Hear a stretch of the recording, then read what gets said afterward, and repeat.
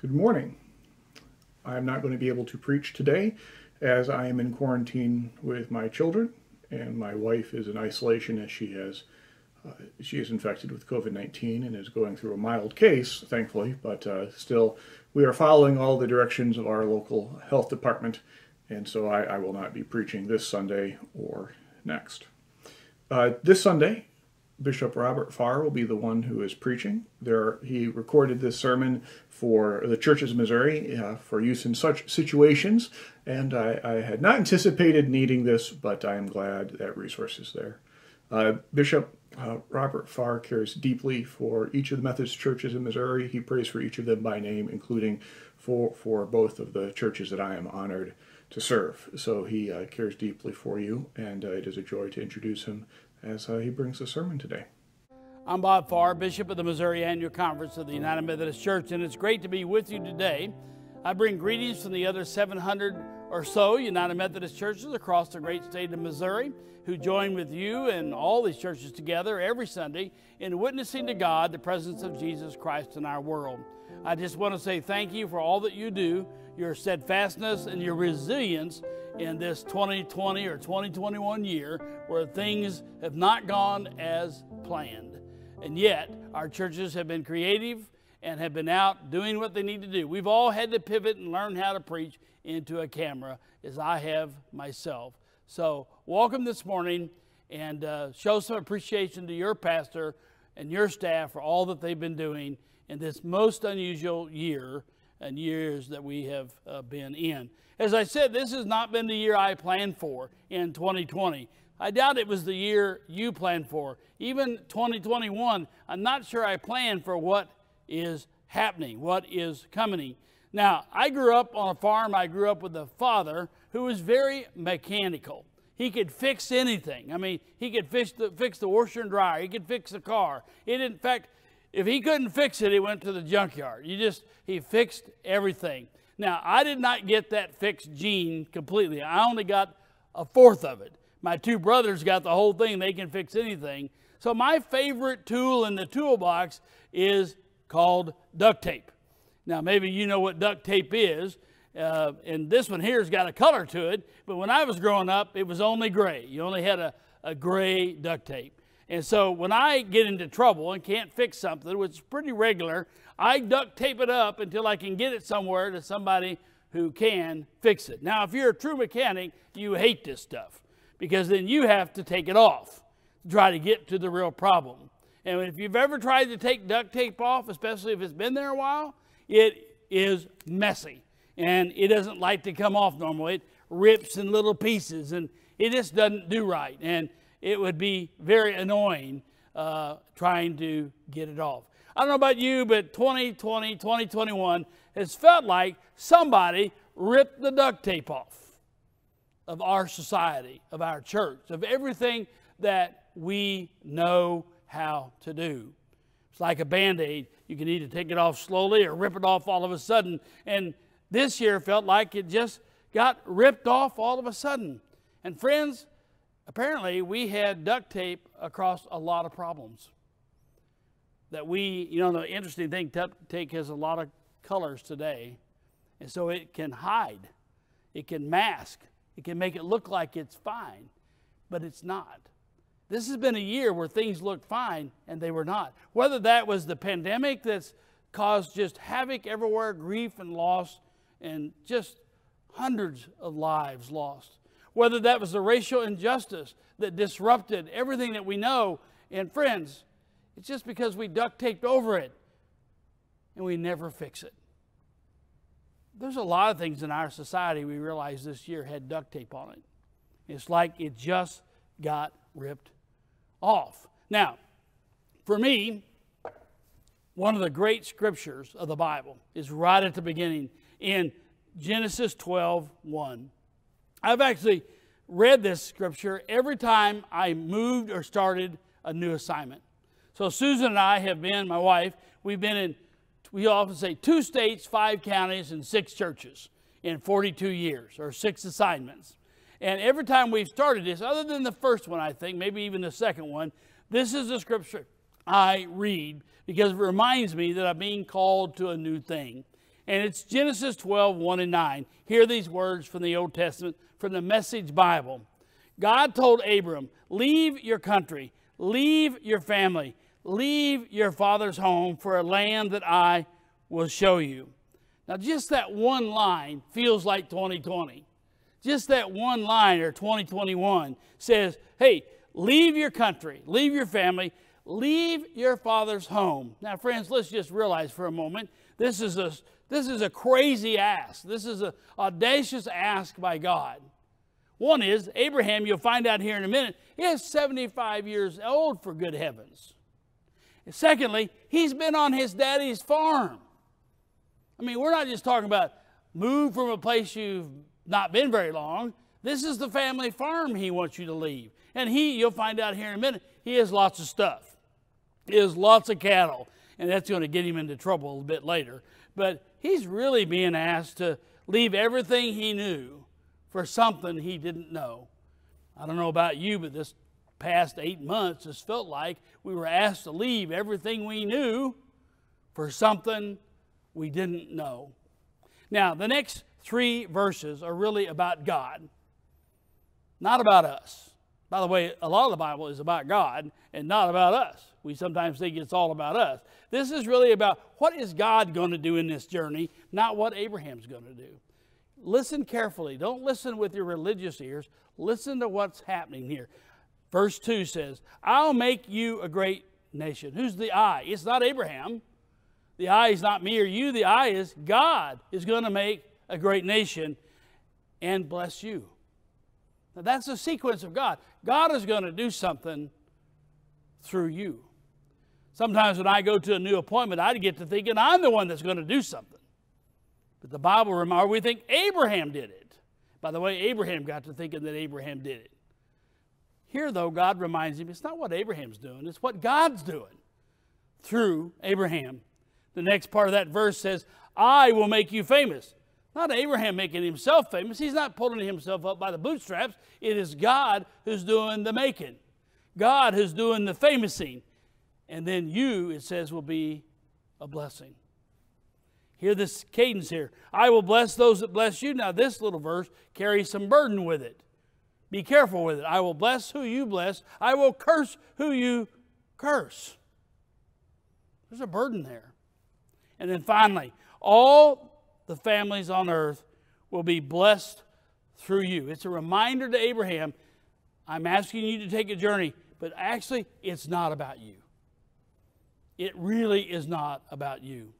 Preachers, we'd all be well to be reminded about that. It's not about us, it's about what God might just do through us on this journey. Now, verses 4 through 6 is a little bit of a descriptor. So, Abraham left just as God said. I mean, that's a big, bold move on Abraham's part. He left just as God said, and he took Lot with him. Abraham was 75 years old. He left Haran. Abraham took his wife Sarah, and again repeated, he took his uh, nephew Lot again, along with all their possessions. Remember that. And the people they had gotten onto the farm at Haran. And they set out for the land of Canaan and arrived safe and sound. Now, friends, if that's all you know of this story, it is a sweet story. It's a vacation Bible school kind of story. God calls, you answer, you leave, you arrive safe.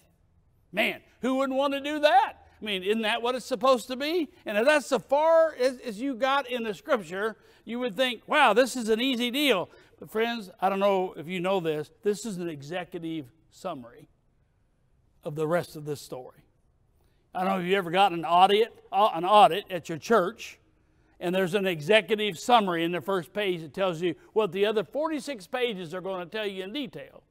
Or you've gotten a report of a plan, and there's an executive summary on the front that tells you this is what this says in the next 50 pages. Friends, this is the executive report about Abraham's journey. Because if you stop there, you'd think this is easy. But the rest of the book, really the rest of the Bible, may well be about what it takes to get from where you are to the promised land. The journey consumes a lot of pages. He didn't just arrive instantly where he needed to be. If you read the rest of this, it says in verse 7 God appeared to Abram and said, I will give you this land. I'll give it to your children. Abraham built an altar on it and placed it to God. He moved from there to the hill country and he kept moving. The verse I want you to hear is verse 9. Abraham kept moving. He was steadily making his way south. The key word, I think, in this whole scripture, there are several, but one of them is when you don't know where you're going. I love his question earlier on where are we going? Where's this trip going? God says, I'll show you. You know, most of the time when God asks an audacious question to us, we have to first take a step before we get an answer. And that's true here. And then typically, we're still not quite sure where we're going. And Abraham did a faithful thing. He kept moving. I don't know about you, but these last eight, ten months, I haven't really known where we're going. What's the outcome going to be? What's it going to look like? Where's this all going? And I've reminded by Abraham's words here keep moving. My dad used to say when I was a young man that 80% of work is showing up. Just keep showing up, even if you don't know what you're doing. Well, this has been a year, right, where we have wondered a million times I'm not sure what I'm doing here. Will it work? We've all had to pivot. That's a new word we didn't even use eight months ago. Who knew social distancing or masking or all this kind of stuff? Keep moving, Abraham did. Keep moving. Friend, I don't know about you, but my life experience has been every time God is about to do a new thing, he has a big ask. An audacious question that makes really no sense if you look at it very long. I think every biblical hero had a moment of decision about some audacious ask. Think about it in a minute. Moses, lead your people out of bondage. Moses stuttered, for God's sakes. Moses was a country boy. Moses was a shepherd. We're going to lead anybody anywhere? What a ridiculous question of God. Hey, Noah, build a boat in Arizona. Hadn't rained in generations. Not just a little boat, but a great big giant boat. That's audacious craziness. Esther, hey, Esther, go up to the king. Plead for your people. That was nuts. She didn't have any authority to do that. Hey, Mary, you're going to have God's son. Well, that sounds sweet, except she maybe is 16. She is not married. I don't you try that explanation with your father. Hey, Dad, I'm pregnant. It's from God. I don't think it would turn out very well. What an audacious ask of a young person. Paul, the fisherman, John Wesley, Francis Asbury, hey, I need somebody to go to America. He sticks his hand in the air in the new room. He's 24. He calls his mother and says, Guess what? I'm, well, he didn't call her. He goes over to, I'm going to America and says, I may never see you again. Guess what?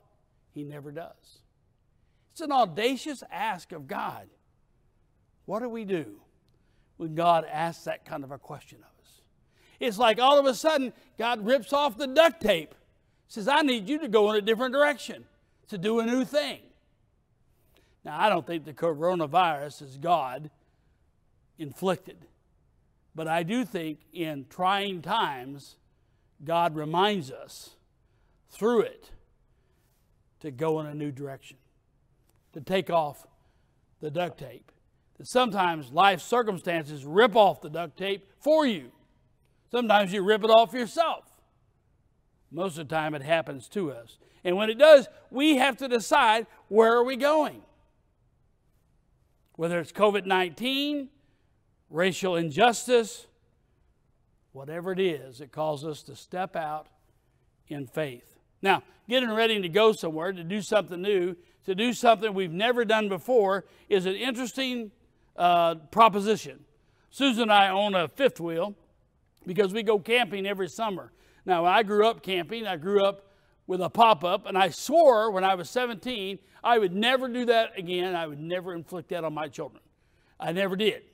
Uh, until uh, about four or five years ago when I became bishop, they said, hey, you need to take the month of July off and get away and leave the state. And so Susan wanted a camp, so we bought a trailer that takes the whole house with us. And we, we've had a good time with it in the summer, and we take it up to Mark Twain Lake a little bit. What always has amazed me about going on a trip in this trailer for three or four weeks at a time is what to put in the trailer. We spend days packing up stuff, putting it in, making sure we have absolutely everything we need for the journey, only to figure out that when we come home three weeks later, we spend a full day, guess what, doing? Packing the stuff up we didn't need, we never used. And what always amazes me is when, when we get to wherever we're going, almost the first day it always happens, we have to make a trip to, you guessed it, Walmart because we forgot something. You see, the interesting thing about taking a new journey is trying to figure out what to take with you and what needs to be left behind. And that's really been a struggle this year is all this new stuff for us, how to do it, what to do it, when to do it, and how do I what do I leave back? I don't want to leave it back. I'm used to what I left back. It's a trick to do something new. It's not our nature to do something new. And we have to figure it out. Friends, I think we're in the midst of a great religious transformation. I think it was already happening before COVID 19 struck and forced us all out of the building into some sort of new ministry. We Methodists thought 2020, 2021 was going to all be about our church division and LGBTQ plus IA issues that we're struggling with and have been for 50 years. We thought that was it. And then there was COVID 19, and it changed everything. But, friends, it's not the first time in the world that things all changed. In fact, I think the 21st century looks a whole lot more like the 6th century. In the 6th century, you might know, may, may or not, may or may not know your history, which is the Jerusalem temple was just completely destroyed. Doesn't seem like much to us today. Who cares? But in their day, that was everything. That was the center of religion. It just, it just crumbled, literally. And in that same generation was the birth of Christ. Now, we look at that and go, that is the greatest thing that ever happened to planet Earth, and I believe that. But if you were Jewish and in the religious circles at the time, that was like put the whole world upside down. Who is this Jesus guy? It was just upside down to how they understood religion. And then we have the rise of the apostolistic church. Good heavens, it didn't even have a building. We're kind of having to do it again all over. Acts 2 church, which is meeting in people's homes. It made no sense to the religious people at the time. What is going on here? Where is this going? Does that feel like the 21st century? A reconfiguration. Where is it all going? It also can cause us to feel pretty desperate inside, pretty maybe even a low grade depression that this isn't going the way we grew up. This isn't going the way I thought. The plans I had planned, plan didn't work. What do I do? Do I just give up, walk away, get mad? By the way, if you read Abraham's journey, it wasn't simple. As you know, there was a moment down the journey where he wasn't sure where he was going, he and Lot got into it. They never made it up, by the way, and and he had trouble over his possessions. Abraham would have been a good American. He took all of his possessions. He'd been good to leave some home. It caused him a lot of grief, caused him some separation. Journeys into the unknown are not simple. One of my favorite scriptures that gives me courage when I'm going and doing something I don't know is in 2 Corinthians 4 1 and 2. Since God has so graciously let us in on what God is doing, we're not about to throw up our hands and walk off the job. What has God let us into? That, of course, is the gift of Jesus Christ. We're not going to walk off the job just because we run into an occasional hard time. Friends, this has been a hard year. I mean, it's, it's been as hard a year as I have ever had in the ministry. But that doesn't mean we're going to walk off the job because we know what the gift is Jesus Christ. We refuse to wear masks and play games. By the way, in the very first three weeks of this pandemic, somebody quoted that scripture to me that, see, there, the Bible says don't wear masks. I don't think that's what he was talking about. He also said don't play games. That would be a new concept in our world today. We don't maneuver, the scripture says. We don't, we don't manipulate behind the scenes. Wouldn't that be a thought? If we didn't do that. We don't twist God's word to suit ourselves. There's another thought. Now, let's just be honest. We all twist the word for our own thoughts. It's just a fact. We're human. I'd like the rather. Rather, we keep doing everything we do and say it out in the open. We put the whole truth on display so that those who want to see and judge for themselves may find the presence of God. I love that last line. It's very Wesleyan. John Wesley actually picked this up and, and really used this in his life. Let's look at what Paul tells us to do. Don't walk off the job just because it's hard. It's been hard before, it's going to be hard again. Sometimes you just have to keep showing up. You have to keep moving forward. Secondly, he reminds us in that scripture in Corinthians don't twist God's word to your own view, put it all out on the table. Try not to play games. Be upright and honest about what's going on. Third, stay open to the Holy Spirit for the whole truth. I love the line. We're just going to put it all out there in the open. And we're going to invite people to come look for themselves. By the way, Wesley picked that up. Sometimes people accuse us of not having invitations at the end of every sermon like some of our tribes do. But, but Wesley picked up this idea that we're going to put it all out there for you. You just come and see. Come and look for yourself. Come and taste for yourself. And then finally, the last step Paul gives us is, and let us see where God's Spirit shows up. In other words, we're just going to put it out there, invite you to come and see, judge for yourself, the scripture says, and see where God's presence shows up. I don't know about you, but 12 months ago, when all this started, I had so many people tell me, well, this will be the death of the church. This will just ruin the church. And I have to confess, I had moments in my own soul, in my own closet of prayer, I was worried that, well, this will ruin the conference. This will, we won't be able to withstand that. And you know what? That's the furthest thing from the truth. When you look at what God has done, you see that God's presence has just shown up all over the place in very unexpected places. We just need to hang in there. We need to see the whole truth. We need to invite people to look for themselves and watch for the presence of God. Where in your life have you seen the presence of God lately? It's amazing what God has done in the last 12 months. In unexpected ways and unexpected places, God shows up. Friends, we need to be about inviting people to see where God shows up. We don't need to speak to it, we just need to show it. Come look for yourself. Come and see, John Wesley would say. Judge for yourself where the presence of God shows up. I hope you look around and see where the presence of God shows up in your life. You see, God shows up. We just need to look. Hey, Abraham, he said, you got to go do a new thing. You got to leave everything you know and go to a land I will show you. Man, don't you think Abraham thought, good heavens? 2020, the duct tape just got ripped off and everything we were used to went right out the door. But maybe God is looking at us saying, Let me show you a new way, a new place, and look for the presence of God. Amen and amen.